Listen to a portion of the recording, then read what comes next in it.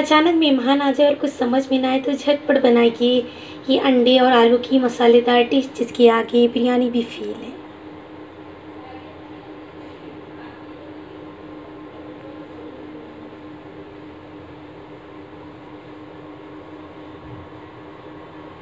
असलम दोस्तों, आज मैं आप सबके लिए लेकर आई हूँ अंडे और आलू की मसालेदार करी। तो अगर आपको मेरी वीडियो पसंद आए तो प्लीज़ मेरे चैनल को सब्सक्राइब कर लीजिएगा, लाइक कीजिएगा। इसमें डालेंगे आधा चम्मच हल्दी का पाउडर, आधा चम्मच मिर्ची पाउडर और थोड़ा सा नमक। और इसे अच्छे से मिला लेंगे। कि हमारे पूरे अंडों पर ये मसाला लग जाए। ये अंडों का मसाला लग जाए। इससे अंडों का कलर बहुत अच्छा आता है। अब हम इसे निकाल लेंगे। और इसी में डालेंगे ये आलू कटे हुए। अच्छे से।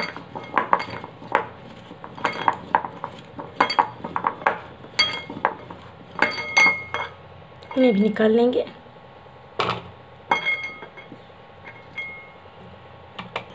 एक कढ़ाई में मैंने तेल गरम किया, इसमें डालेंगे अंडे।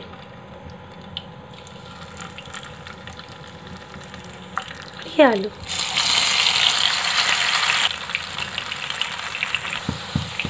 देखिए कि अंडे गोल्डन हो चुके हैं और ये आलू भी हमारे अच्छे से हो चुके हैं तो अब हम इसे निकाल लेंगे।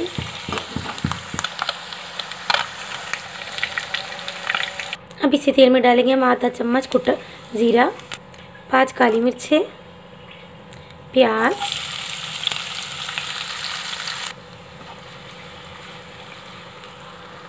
ये एक बड़ी प्याज मैंने ली थी। इसमें डालेंगे दो चम्मच अदरक लहसुन का पेस्ट। आप घिसी हुई अदरक लहसुन भी डाल सकते हैं।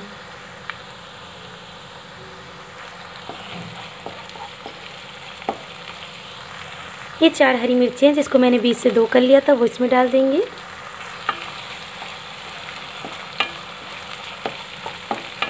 आप हरी मिर्चें काट के भी डाल सकती हैं, लेकिन वो बच्चों के निकालने में बड़ी परेशानी होती है। बच्चों के मुँह में चली जाती है तो बहुत तीखा लगता है उन्हें। तो इसलिए आप बड़ी बड़ी हरी मिर्चें डालिएगा, ज़्यादा सही रहेगा। पाँच मिनट पकाने के बाद हमने इसमें डाले आधा चम्मच हल्दी पाउडर। गैस को लो कर दीजिएगा। आधा चम्मच मिर्ची का पाउडर और आधा चम्मच धनिया पाउडर।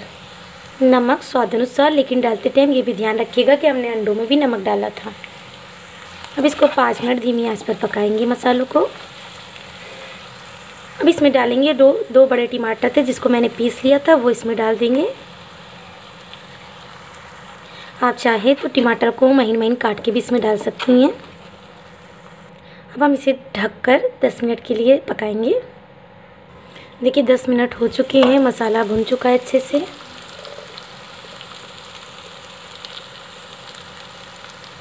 मसाले से तेल अलग होने लगा है। अब इसमें डालेंगे दो चम्मच भुना हुआ बेसन। इससे जो हमारी करी है ये फटी फटी नहीं लगेगी, बहुत ही अच्छी लगेगी, बिल्कुल ढाबे की तरह। अच्छे से मिला लेंगे। अब आप चाहें तो बेसन डालिए, मन ना करे तो ना डालिए। लेकिन बेसन डालने से एक बहुत ही अच्छा टेस्ट आ जाता है इसमें। अब इसमें पानी डालेंगे।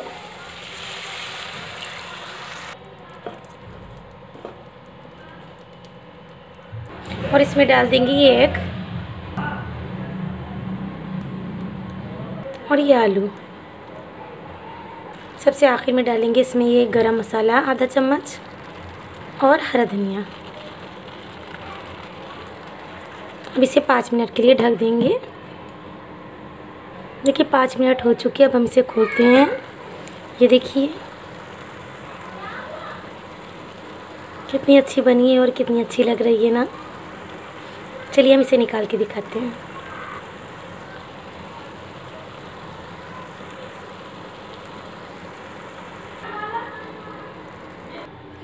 देखिए रेडी है हमारी गर्मा गर्म आलू और अंडे की मसालेदार दार करी। और ये छोटी वाली जरी ने अपने लिए निकलवाई है। तो अगर आपको मेरी वीडियो पसंद आए तो प्लीज़ मेरे चैनल को सब्सक्राइब कर लीजिएगा।